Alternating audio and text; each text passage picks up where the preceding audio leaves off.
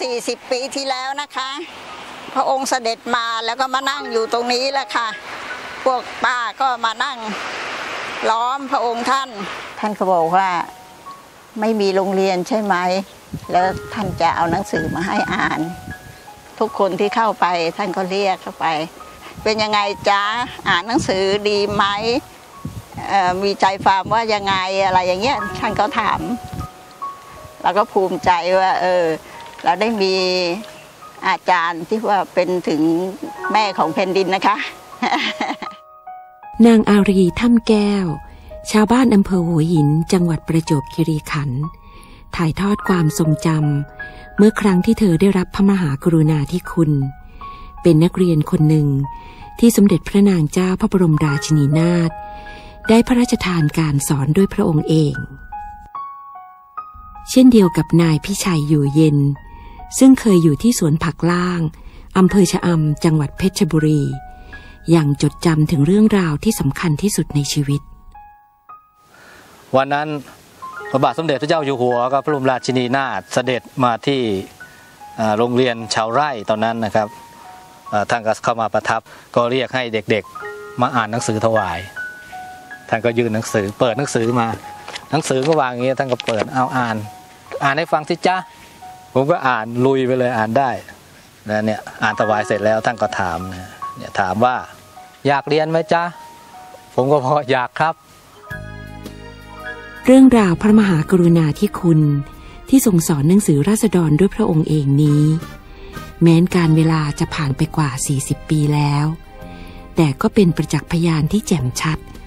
ถึงพระราชฤทัยรักการศึกษา และความใส่พระราชฤทัย ในเรื่องการศึกษาของราษฎร โดยเฉพาะผู้ด้อยโอกาสในการเข้าถึงระบบการศึกษาหลักของประเทศ นอกจากนั้น นับแต่พุทธศักราช 2519 ได้มีพระราชดำริ ให้จัดตั้งแหล่งเรียนรู้ ที่ราษฎรสามารถมาศึกษา ค้นคว้า หาความรู้ได้ด้วยตนเอง ลักษณะห้องสมุดอเนกประสงค์ ที่พระราชทานชื่อว่า ศาลารวมใจ ส่งคัดเลือกหนังสือประเภทต่างๆ พระราชทานไว้ในศาลารวมใจด้วยพระองค์เอง ให้มีพร้อม ทั้งความรู้ทั่วไปเกี่ยวกับประเทศ ประวัติศาสตร์ วรรณคดี ศาสนา ศิลปวัฒนธรรม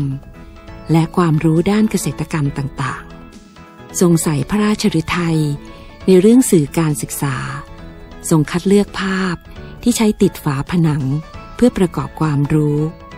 บางครั้งทรงอ่านหนังสือบันทึกลงในแถบบันทึกเสียง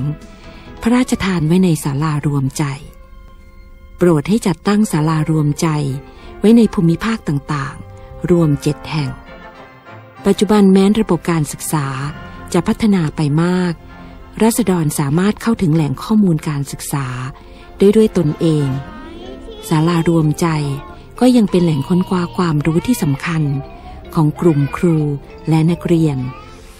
และยังเป็นศูนย์รวมชุมชน ในการฝึกหัดศิลปาชีพ และทำกิจกรรมต่างๆ ร่วมกัน พระราชฤทัยรักการเป็นครู ของสมเด็จพระนางเจ้า พระบรมราชินีนาถความใส่พระราชฤทัยในการส่งเสริมการศึกษาของชาติ โดยเฉพาะการศึกษานอกระบบ เพื่อให้ราษฎรได้อยโอกาสได้เข้าถึงแหล่งความรู้ จนถึงการทรงสนับสนุนการเพิ่มพูนความรู้ ในลักษณะการศึกษาตลอดชีวิต ล้วนเป็นต้นแบบของนักการศึกษาที่แท้จริง